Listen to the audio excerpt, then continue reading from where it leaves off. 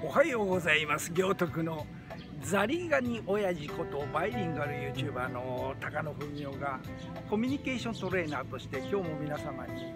コミュニケーションワンポイントテクニックをプレゼンテーションさせていただきます。今日は6月は27日火曜日ですね。今日も梅雨だというのに雨が降ってません。曇りの日ですね、はい、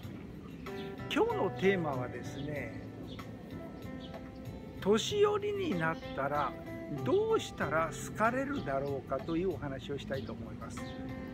年を取るとですね大概嫌われ者になっていくんですよね。それはなぜかというのを自分なりにですね勉強して研究してみたいなと思います。というのは年寄りになってもですねとても社会とかあるいは人間関係で受け入れられてですねとてもですねあの好かれる人というのがいるんですよ。それはですね俺が俺がの我を押し付けておかげおかげの下で生きず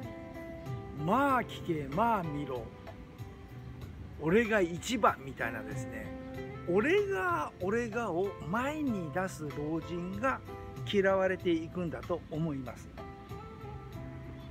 要するに嫌がられるんですよね。はい、どうしたらですね好かれる老人になれるかというお話をしたいと思いますがこれはですね老人だけに適用できず広く一般にも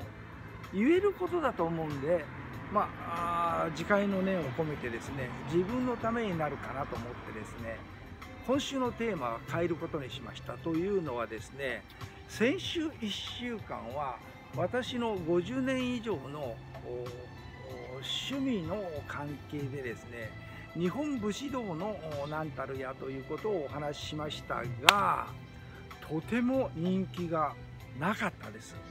視聴者が全然増えませんでした。はい。ですから日本武士道を語るというのがですねとても今の時代には難しいのかなという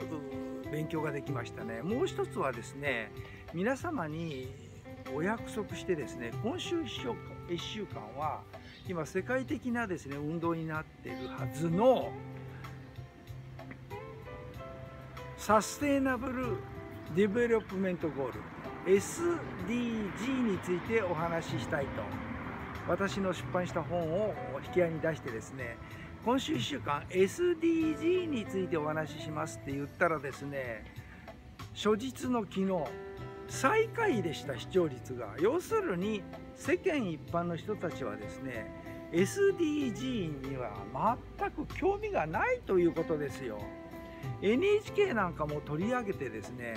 朝っぱら SDG を取り上げてやってますが要は世間の人はですね SDG そんなものはどうでもいいと思ってるということなんですよ。したがって、えー、武士道とですね SDG のテーマはちょっと横に置いとこうと思います。はい最後になりました。年を取ったりですねまあ普通の人も一緒ですよ。世間に受け入れられる人というのはどういうことかというと俺が俺がの画をちっと横に置いてですね皆様のおかげおかげの下で生きるという生き方だと思います。はい。今週はですねそちらにスイッチいたします。さようなら。